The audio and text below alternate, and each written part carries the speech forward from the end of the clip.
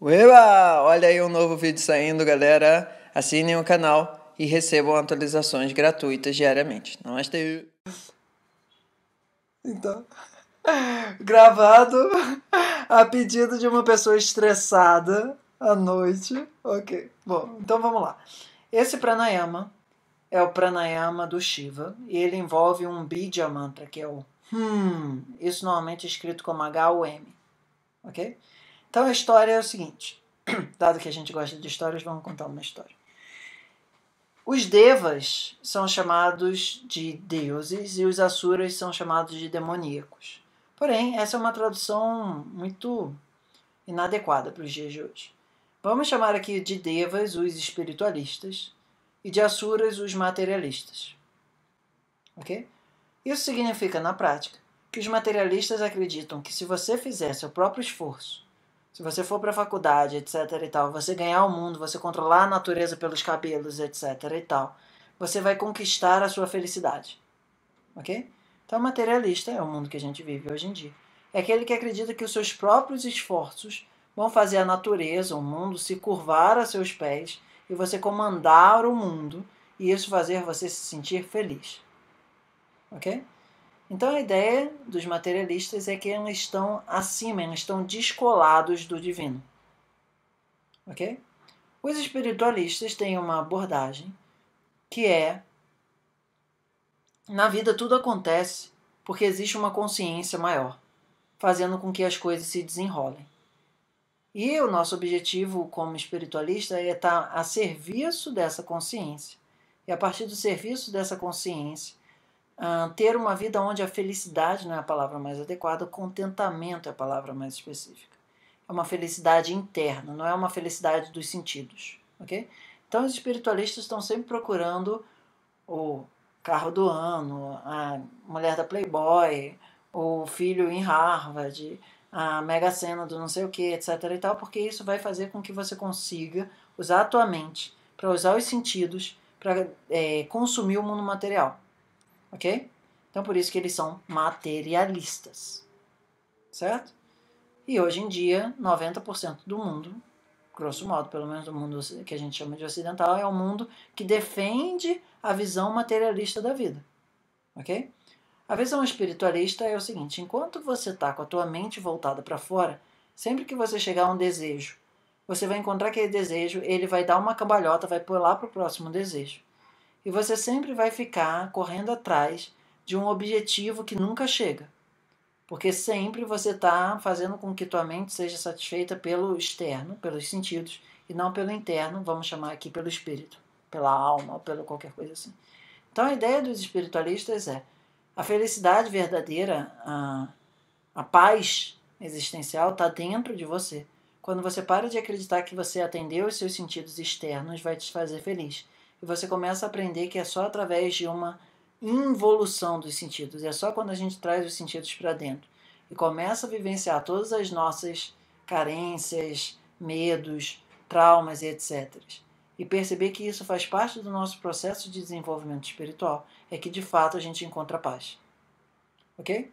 Então, falando da lua de Buda, ah, em homenagem, né?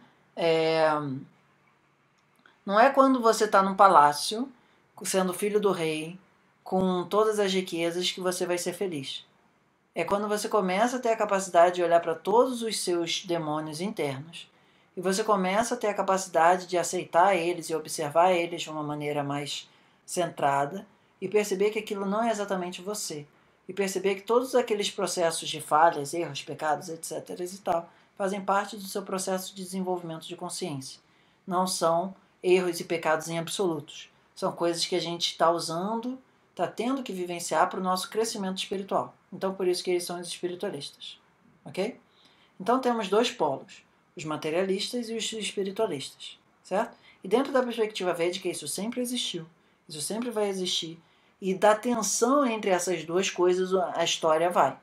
Uma hora está um pouco mais para o materialista, outra hora está um pouco mais para o espiritualista. E esse, esses dois puxos, o polo positivo e o negativo ali, faz com que a vida aconteça. Ok? E numa dessa vai e volta. Teve uma hora que, ah, vamos assim, só passar por alto da história, não vamos entrar em todos os detalhes, Mas chegou um momento onde eles concordaram que eles precisavam atuar juntos para encontrar o néctar da imortalidade. Ok? Então, no geral, eles estão brigando ou eles estão suficientemente afastados, mas em concórdia, no geral, eles não estão. Ok?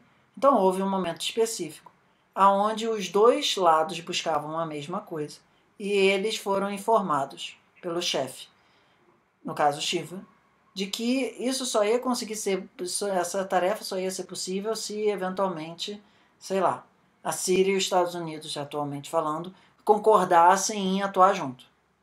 Ok? Poderia ser os Estados Unidos e a União Soviética num determinado período histórico. Ah, mas a ideia é que aquilo não é uma coisa muito provável e meio que arranjou uma intent ali, uma aliança para aquilo acontecer. Naquele momento, eles começaram a trabalhar juntos. Eles começaram a bater o oceano de consciência. Uh, o nome disso, um dos nomes disso é Samudra Mantan. E a primeira coisa que saiu dessa, desse enterprise, dessa uh, aliança, desse consórcio, vamos chamar assim, foi a discórdia.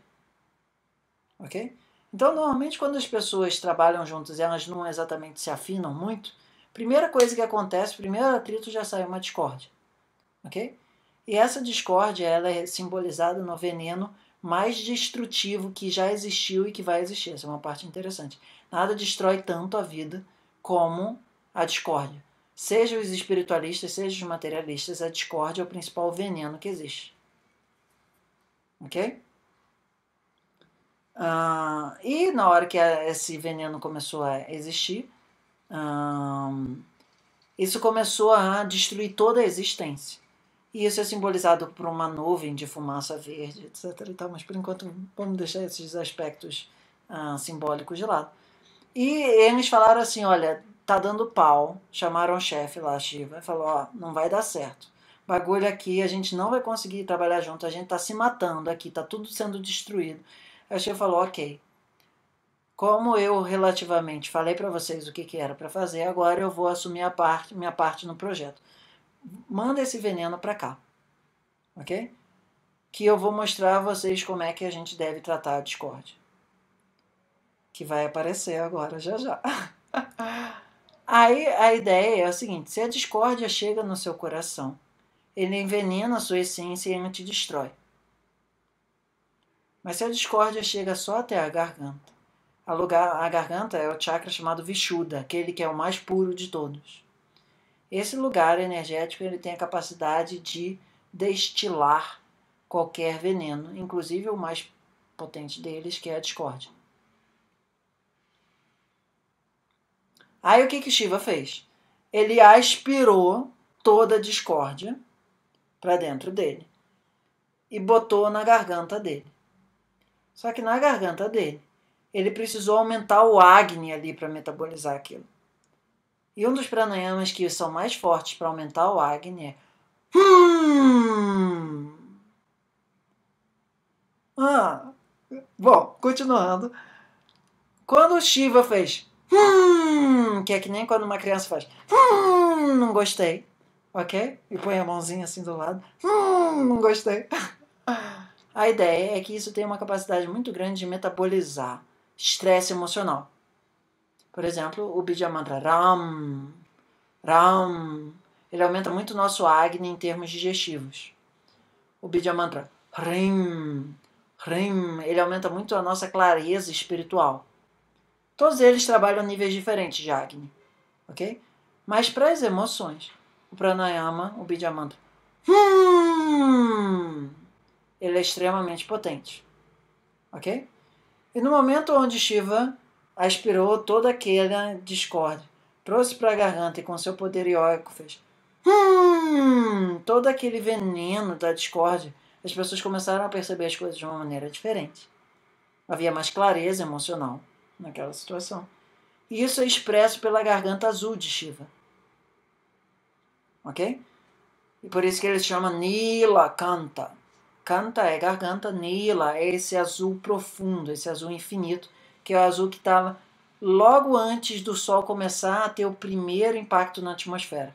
Aquele azul mais profundo da noite representa o lugar onde a gente tem maior capacidade de conexão espiritual. ok?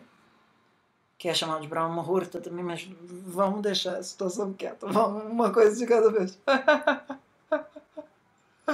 Aí o Shiva, quando ele fez um hum, essa garganta ela adquiriu a, a, a cor da paz profunda e da conexão profunda, que é esse azul negro, esse azul celestial, esse azul da do mais profundo da madrugada, ok? E ali ele ensinou à humanidade como lidar com a discórdia, com o Bidyamantra. Hum! E como é que você faz isso? Você pega aquela emoção que a gente estava conversando e tal, e você vivencia aquilo, aquilo pega fogo no teu sistema, você fica triste, você fica irritado, você fica o que seja. E com a vivência mental daquilo você começa a fazer.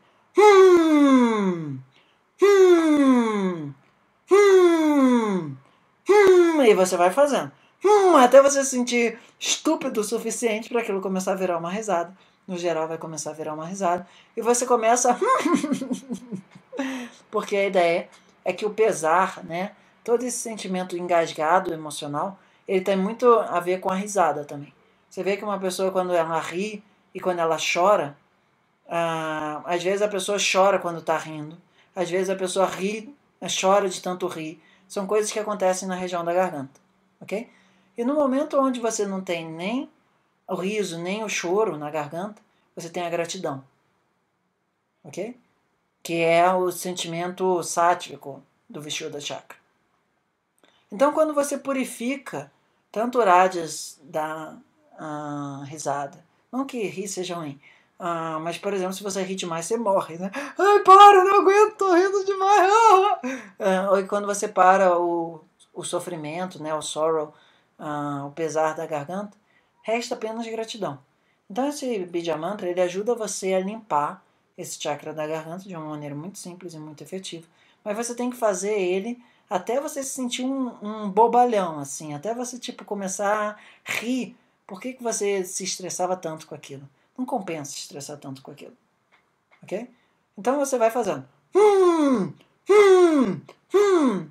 E se eventualmente, assim, no teu trabalho é muito difícil de você fazer isso, você vai no banheiro e hum, assou o nariz. Hum, hum, ok? Mas foca bastante atenção no ar saindo porque o ar saindo carrega a emoção, ok? Não faz só o som, faz a respiração também durante o processo. E você pode fazer isso, mas não precisa ficar necessariamente fazendo isso muito alto ou muito forte. Se ajudar, se tiver natural, ok. Mas não precisa ser artificial. Você pode fazer. Hum. Hum. Hum. E a ideia é que esse pranayama vai ajudar você a purificar suas emoções de uma maneira muito simples. Só para terminar a história do Shiva. Desde aquele momento, ele usa uma serpente enrolada na garganta, que, digamos assim, oculta, protege esse segredo, ok? Essa garganta, ela essa garganta, essa serpente, ela representa a Kundalini. O Ganesha tem no umbigo, o Shiva tem na garganta, o Vishnu tem na cabeça. Todos eles representam diferentes estados de manifestação da consciência, não que um seja melhor ou pior, mas são, digamos assim, ah, lugares de consciência diferentes. E a ideia é que Shiva, mesmo quando está meditando, ele mantém uma conexão com o mundo externo aberta, que é a serpente. Então, aquela serpente representa a nossa capacidade de ter consciência do mundo, mesmo a gente estando num estado meditativo. E se você associar isso à garganta, né? Aquela serpente ela está enrolada na garganta, ela não está enrolada em qualquer coisa. Ela representa também a nossa capacidade de ter muita consciência do nosso estado emocional quando a gente está acordado. Então ela representa a nossa capacidade de quando a gente está meditando, olhar para fora e quando a gente está acordado a gente olhar para dentro. Então ela é uma ponte de conexão, ela é um plano relacionado a esse segredo que é o, o uh, aspecto das emoções na garganta, né? Você fala, nossa, eu tô com a garganta aqui uh, amarrada, tô com um nó na garganta. Todas essas expressões mostram como essa garganta vai um, ter um papel importante. Só para finalizar, esse é o pranayama muito bom para galera com questões na tireoide, mas algum dia meu vídeo de tireoide sai. Hoje a gente já saiu com um vídeo do rum. Aê! Muito bom. Bom, então fechamos a nossa historinha. Namastê! Deseja marcar seu atendimento? namastê.tiago.gmail.com Namastê!